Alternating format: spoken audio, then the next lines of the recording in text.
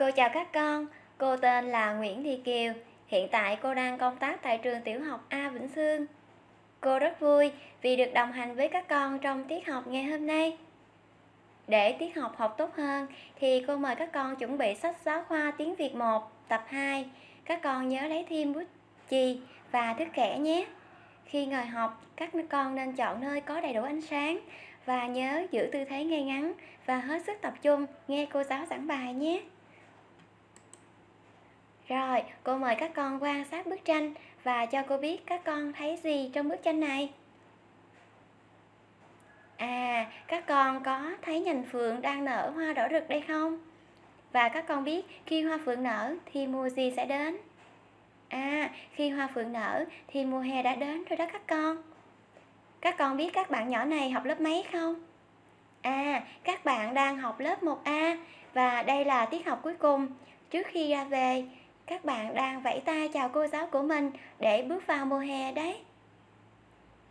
Và cô trò mình cũng sẽ nói lời lời chào lớp 1 bằng một bài thơ.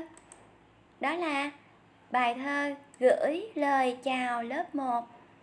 Các con hãy chú ý nghe cô giáo đọc mẫu một lần nha. Lớp 1 ơi lớp 1, đón em vào năm trước. Nay giờ phút chia tay, gửi lời chào tiếng bước. Chào bảng đen cửa sổ, chào chỗ ngồi thân quen. Tất cả chào ở lại, đón các bạn nhỏ lên. Chào cô giáo kính mến, cô sẽ xa chúng em làm theo lời cô dạy cô sẽ luôn ở bên lớp 1 ơi lớp 1 đón em vào năm trước.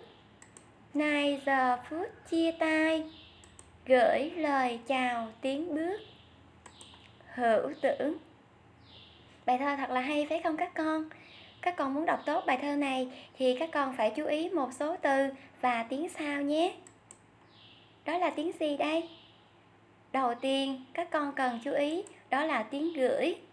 Các con hãy giúp cô phân tích tiếng gửi thế nào. À, tiếng gửi gồm âm g, vần ươi, dấu hỏi, g, ươi, gươi, hỏi, gửi. Gửi, các con nhớ đánh vần theo cô nha. Tiếng tiếp theo, chúng ta cần hết sức lưu ý khi phát âm, đó là tiếng trước. Tiếng trước gồm âm trờ, vần ướt, dấu sắc trờ ướt trước sắc trước âm trờ các con nhớ cong lưỡi lên nha tiếng phút. Tiếng phút gồm âm phờ vần út dấu sắc. Chúng ta sẽ đánh vần như sau. Phờ út phút sắc phút phút. Tiếng thân gồm âm gì và vần gì vậy các con? À, tiếng thân gồm có âm thờ Vần ân. Chúng ta sẽ đánh vần. Thờ, ân, thân, thân. Từ cô giáo thì các con chỉ cần phân tích cho cô tiếng giáo. Tiếng giáo gồm âm di Vần ao, dấu sắc. Di, ao, sao, sắc, giáo. Cô, giáo. Tiếng hữu. Tiếng hữu gồm âm hờ vần ưu dấu ngã. Hờ ưu hưu ngã.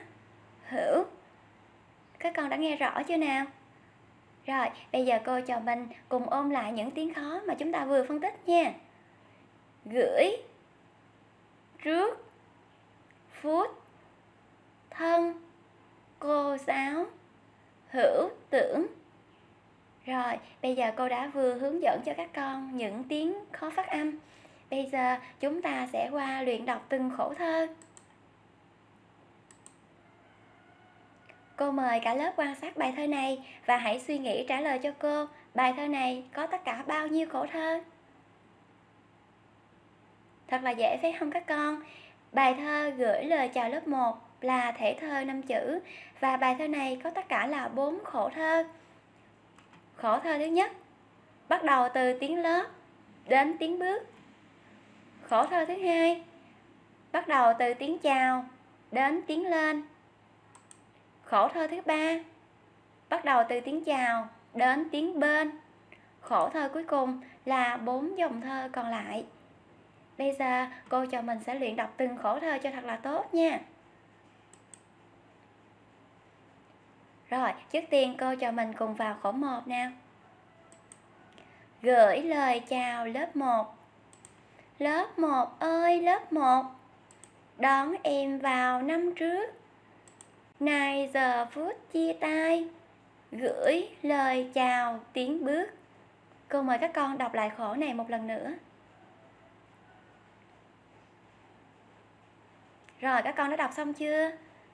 À, nếu các con đọc chưa xong thì các con có thể dừng video lại để đọc cho xong khổ 1 rồi chúng ta mới qua khổ 2 nha. Rồi, bây giờ chúng ta qua khổ 2.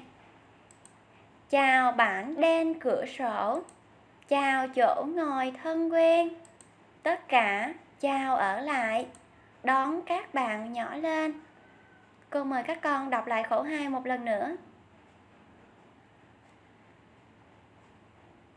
Rồi, chúng ta qua khổ ba thôi. Chào cô giáo kính mến. Cô sẽ xa chúng em. Làm theo lời cô dạy. Cô sẽ luôn ở bên. Chúng ta qua khổ thơ cuối cùng. Lớp 1 ơi, lớp 1 Đón em vào năm trước. Nay giờ phút chia tay. Gửi lời chào tiến bước. Hữu tưởng. Cô vừa hướng dẫn các con luyện đọc từng khổ thơ bây giờ chúng ta sẽ qua luyện đọc cả bài thơ luôn nha các con. Các con lưu ý sau khi đọc xong một dòng thơ thì chúng ta nên nghỉ hơi. Bài thơ này là bài thơ rất là cảm tình cảm Cho nên khi đọc thì các con nên giọng đọc nhẹ nhàng thôi Và hơi tha thiết thể hiện tình cảm của mình đối với cô giáo Và cũng như đối với những vật thân quen trong lớp học nhé. Rồi các con hãy lắng nghe cô giáo đọc cả bài lại Và chú ý giọng đọc như thế nào Để chúng ta đọc bài thơ này thật là hay, thật là tình cảm nha. Rồi các con đã sẵn sàng chưa? Rồi bây giờ nghe cô đọc nha gửi lời chào lớp 1. Lớp 1 ơi lớp 1, đón em vào năm trước. Nay giờ phút chia tay, gửi lời chào tiến bước.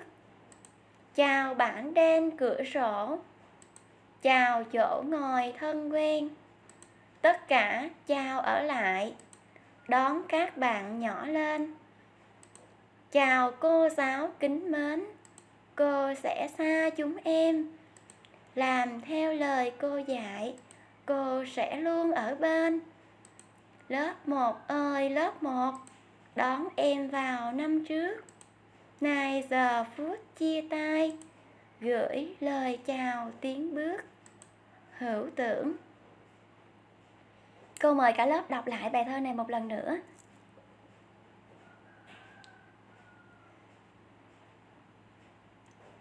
Các con à, cô đã vừa hướng dẫn chúng ta cách luyện đọc bài thơ này.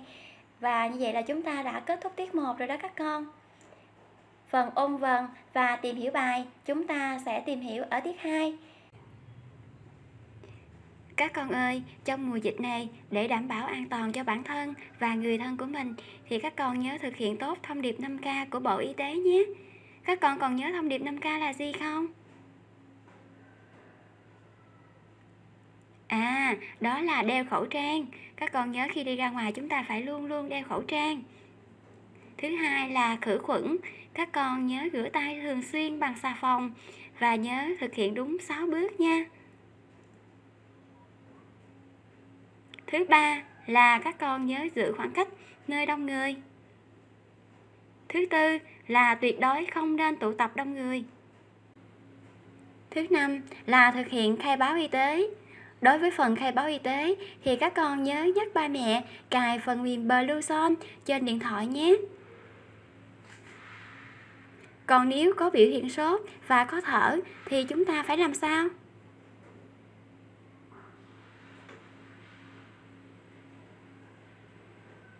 À, các con có thể liên hệ đường dây nóng của Bộ Y tế 1900 9095. Cô chúc các con có một kỳ nghỉ hè thật hạnh phúc bên gia đình của mình nhé và hẹn gặp lại các con ở tiết học sau. Cô chào cả lớp nhé.